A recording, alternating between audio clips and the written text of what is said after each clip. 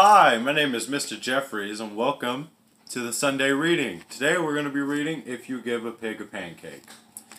So, let's just get right into it.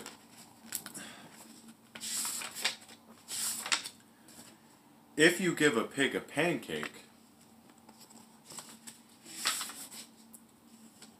she'll want some syrup to go with it.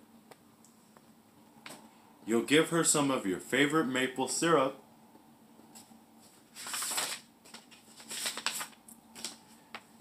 she'll probably get all sticky.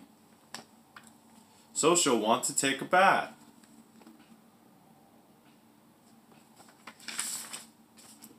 She'll ask for some bubbles, and when you give her some bubbles, she'll probably ask you for a toy.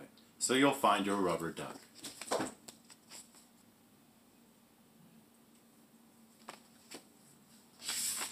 Blah, blah, blah.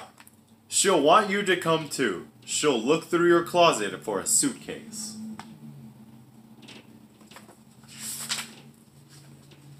Then she'll look under your bed, and when she's under your bed, she'll find your tap shoes. She'll try them on. She'll probably need something special to wear with them.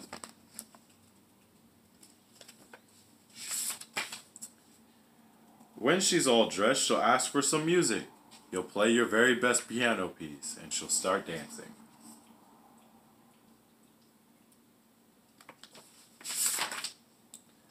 Then she'll want you to take her picture, so you have to get your camera.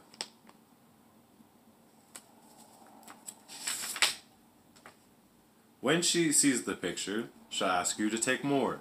Then she'll want you to send one to each of her friends.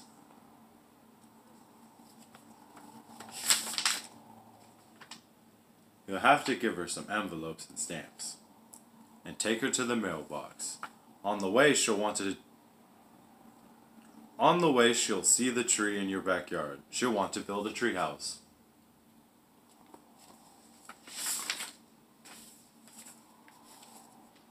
So you'll have to get some wood and a hammer and some nails. When the treehouse is finished,